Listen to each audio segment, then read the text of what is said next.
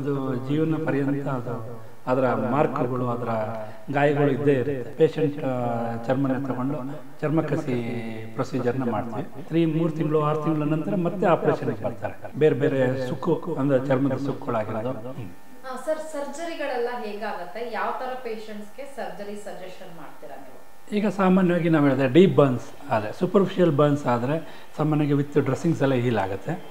Deep burns ಆದರೆ ಅವರಿಗೆ ಸಾಮಾನ್ಯವಾಗಿ ಸ್ಕಿನ್ ಗ್ರಾಫ್ಟ್ ಅಂತ ಏನು ಹೇಳ್ತೀವಿ ಪೇಷಂಟ್ ಚರ್ಮನ ತಗೊಂಡು ಚರ್ಮ ಕಸಿ ಪ್ರೊಸೀಜರ್ನ ಮಾಡ್ತೀವಿ.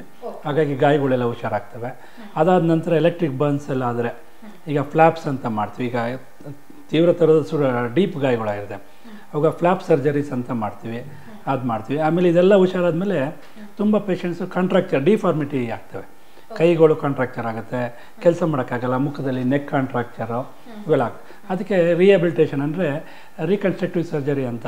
ಪೇಷಂಟ್ ಎಲ್ಲ ಹುಷಾರಾಗಿ ತ್ರೀ ಮೂರು ತಿಂಗಳು ಆರು ತಿಂಗಳ ನಂತರ ಮತ್ತೆ ಆಪ್ರೇಷನಿಗೆ ಬರ್ತಾರೆ. ಅವಾಗ ಅವರಿಗೆ ಕತ್ತಿ ಹಿಡಿದಿರೋದು ಕೈ ಹಿಡಿದಿರೋದು ಕಾಲು ಬೇರೆ ಬೇರೆ ಸುಕ್ಕು ಅಂದರೆ ಚರ್ಮದ ಸುಕ್ಕುಗಳಾಗಿರೋದು.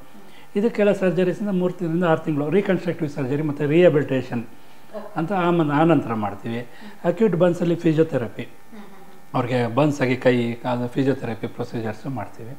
ಎಲ್ಲ ರೀತಿಯಲ್ಲೂ ಅಂದರೆ ಒಂದು ಪೇಷಂಟ್ ಒಂದು ಸರಿ ನಮ್ಮ ಬನ್ಸ್ ಏನಂದರೆ ಇನ್ನೊಂದು ಒಂದು ಸರಿ ಅವ್ರಿಗೆ ಬನ್ಸ್ ಆದರೆ ಅದು ಜೀವನ ಪರ್ಯಂತ ಅದು ಅದರ ಮಾರ್ಕ್ಗಳು ಅದರ ಗಾಯಗಳು ಇದ್ದೇ ಇರುತ್ತೆ. ಹಾಗಾಗಿ ಅವ್ರಿಗೆ ಚಿಕಿತ್ಸೆ ನಿರಂತರವಾಗಿ ನಡೀತಾನೆ ಇರುತ್ತೆ.